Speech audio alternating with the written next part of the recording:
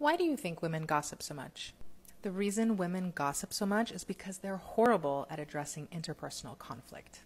It's kind of funny that women are assumed to be the emotionally intelligent ones, but they're not. Women may be more emotionally in tuned, but their communication is less clear and less rational. They just don't navigate conflict well compared to men, all things being even.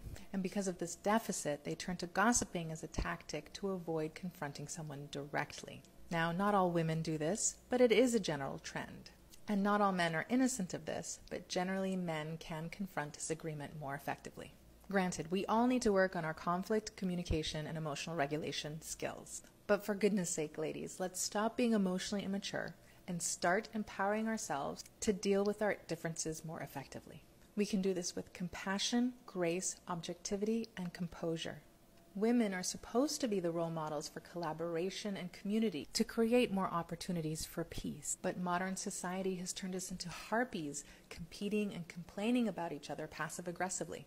Disagreement and disapproval does not have to be contemptuous and negative feedback isn't inherently violent or accusatory when approached in good faith. In summary, we don't need to be perfect, ladies, but we do need to strive to be better. So let's stop just seeking validation and strive for clarity and growth. Now, I'd love to hear your thoughts. Put your comments below. Tell me what you think.